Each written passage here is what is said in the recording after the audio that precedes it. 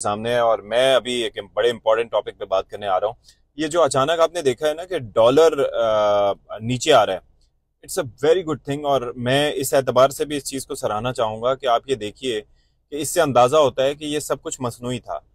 यानी आज से कुछ दिन पहले तक डॉलर का जो ओपन मार्केट रेट था, वो था तीन सौ अट्ठाईस और वो दस्तियाब भी नहीं था। यानी कि साढ़े तीन सौ रुपए में भी लोग उसको बेचने को तैयार नहीं थे क्योंकि लोगों को लग रहा था कि जी ऊपर जाएगा मजीद। यानी कि ये होल्डिंग सट्टेबाजी स्पेकुलेशन एजेंट माफिया ये जो आ, जो फॉरेक्स डीलर्स हैं उनके दफातर के बाहर जो ये जो एजेंट घूम रहे होते थे उनको अपने पास जाके रेट्स वगैरह ऑफ़र करते थे तो उनका काम यही होता था बेसिकली कि वो स्पेकुलेशन की फजा बना के रखें ताकि मुल्क में अनसर्टिनिटी हो और उसके बेस पे फिर ये रेट को मैनिपुलेट कर सकें। आर्मी चीफ की जानब से ये जो इकदाम उठाया गया उनसे बात की गई फिर उन्हें ज़ाहिर है कि आई एम श्योर कि उन्हें उनकी हद में लाया गया होगा। और उसी की वजह से हम ये अब देख रहे हैं, असरात के डॉलर जो एक जानब साढ़े तीन सौ से ऊपर जाना चाह रहा था, वो अब तीन सौ की रेंज में आ गया है। तीन सौ की रेंज में इन सेंस कि अभी भी तीन सौ बारह रुपये में ट्रेड कर रहा है ओपन मार्केट में। तीन सौ पाँच पे जो है वो दूसरा है इंटर बैंक में। और दूसरी एक और चीज़ बड़ी ये है ज़बरदस्त कि उसके अंदर जो डिफरेंस होता था वो काफ़ी ज़्यादा होता था। यानी कि डॉलर और उसके अंदर आप ये देखते थे कि डॉलर जो है वो और रुपी में फ़र्क जो है वो ओपन मार्केट में काफ़ी ज़्यादा था। अब उसको भी कम किया गया है। सवा परसेंट से क्या कहा जा रहा है कि उससे ज़्यादा नहीं होना चाहिए तो आई एम श्योर कि इसको भी काफ़ी देखा जाएगा। और दूसरी चीज़ है सस्टेनेबिलिटी जब बात हुई उनसे मलिक बोस्तान साहब से तो वो ये फरमाते हैं कि जी ब्लूमबर्ग ये कहता है कि जो उसकी ओरिजिनल वैल्यू है, दुनिया भर में भी global prices are increasing and everything is happening and हमारी इकोनॉमी जो है उसको मद्देनजर रखते हुए सौ चालीस से दो सौ पचास तक का डॉलर होना चाहिए। इससे ज़्यादा नहीं होना चाहिए, और ये नीचे आएगा। जो लोग पैसे जमा करके जखीरा अंदोजी करके, होर्डिंग करके बैठे हुए अभी भी उनके पास सही वक्त है कि भाई उसको बेच दें। नहीं बेचेंगे तो ये चीज़ आपके गले पड़ेगी। ये डॉलर जो है वो आपके गले पड़ेगा। मैं इतना परेशान हो गया था। आप सोचें कि जो चीज़ आप खरीदते हैं, अगर उसके कन्वर्जन रेट में जाए तो डॉलर आपको इतना महँगा पड़ता है। आप अपनी तनख्वाह ले जाएँ कि पहले आप कितने का हज़ार डॉलर खरीद पाते थे और अब अपनी तनख्वाह में ख़रीदना भी आपकी कैपेसिटी में है या नहीं है डिपेंडिंग ऑन द पीपल तो ये एक बड़ा चैलेंजिंग और बड़ी मुश्किल चीज़ थी। तो एक तो पाकिस्तान की इकोनॉमी को थोड़ा बेहतर करने के लिए ये एक बड़ा एक इनिशिएटिव ज़रूरी था।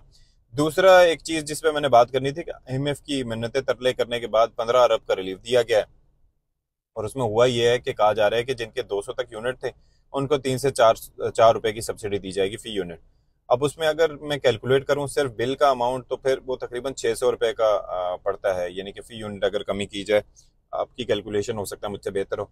लेकिन मैं एक चीज़ पे नज़र डालना चाह रहा था, वो ये थी कि जो हमारे टैक्सेस होते हैं, असल मामला तो वो खराब खराब करते हैं ना। फर्दर टैक्स, एक्स्ट्रा टैक्स, फिर उसके बाद कैपिटल पता नहीं कौन सा टैक्स फिर उसके बाद फ्यूल एडजस्टमेंट सरचार्ज और फिर टीवी लाइसेंस फ़ी और न जाने क्या क्या इनकम टैक्स और बस टैक्स ही टैक्स तो कैपेसिटी चार्जेस, एट्सट्रा एट्सट्रा। तो असल वैल्यू तो वो बनती थी तो उसका क्या होगा? और फिर ये कि 200 से जो 400 यूनिट वाले हैं, उनके ऊपर कोई रिलीफ नहीं है। यानी कि 200 से ऑनवर्ड जो भी है, उसके लिए कोई रिलीफ नहीं है। कमर्शियल सारिफिन के लिए कोई रिलीफ नहीं है। और आप ये देखें कि ये नतीजा निकलता है जब आप अपनी फ़ौरन ज़ाहिर है कि पॉलिसी इस तरह की बनाते हैं और उसके अंदर अमेरिका आपके जो फाइनेंशियल मामला है, उनको चलाता है with the help of I M F and you know F A T F तो ये एक बड़ा, ये एफ़ बी आर ने बेसिकली पंद्रह से बीस अरब रुपए का कोई मार्जिन जो है, वो उन्होंने हासिल किया था।